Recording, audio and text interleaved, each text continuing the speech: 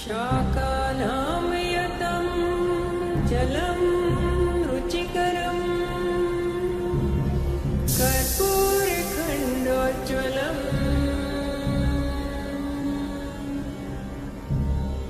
ताम्बूलं मनसा मया विरचितं भक्त्या प्रभो स्वीकुरु।